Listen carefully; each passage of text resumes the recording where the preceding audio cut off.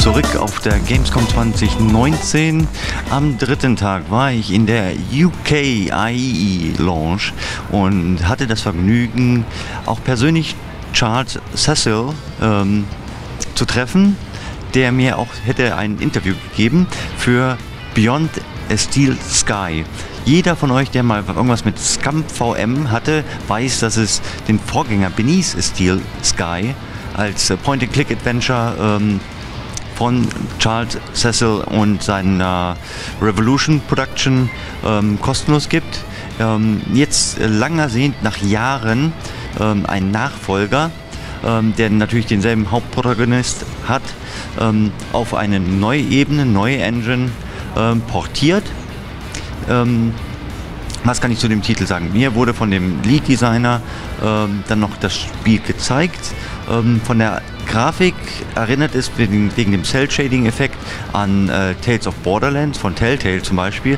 Aber der Lead-Designer hat mir erklärt, sie haben es etwas anders gemacht, ähm, weil wenn man sehr reinzoomt bei den Borderlands äh, Telltale Adventure, ähm, wird dieses Cell Shading sehr dick und das war schon sehr gut bei denen in der Tech Demo.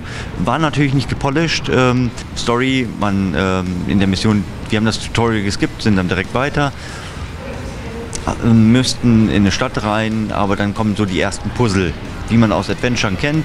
Ähm, ein Trucker ist gestrandet und seine Ware verdirbt. Er möchte in die Stadt rein, aber ihm fehlt die Batterie.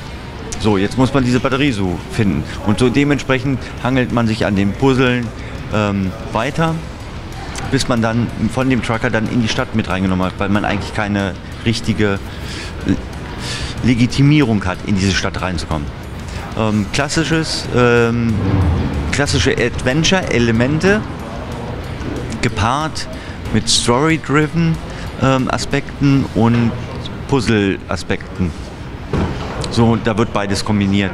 Ähm, man muss halt auch im Interface, man kann halt so ein, mit einem portablen Hacker, ähm, kann man dann gewisse Sachen machen. Hat mich erinnert an das Hacken beim Mass Effect, wenn ich mich richtig entsinne nettes Spiel.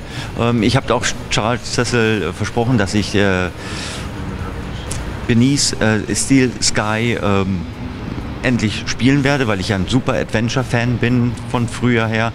Ähm, als wichtigen Lebenstipp hat er mir äh, mitgegeben, ich sollte doch einfach meine Freundin davon überzeugen, es zusammen mit ihr zu spielen, um die wahnsinnig schöne Story zu erleben. Und dann kann man halt den zweiten Teil oder den Nachfolger mit an, anheften. War ein schöner Termin, äh, bin gerne bei Yuki AI, ähm, sind sehr nette Leute.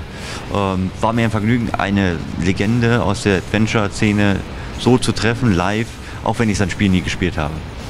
Das war Beyond a Steel Sky, euer Same für Review Junkies, für Chainsaw Gaming auf der Gamescom 2019 und wir hören uns.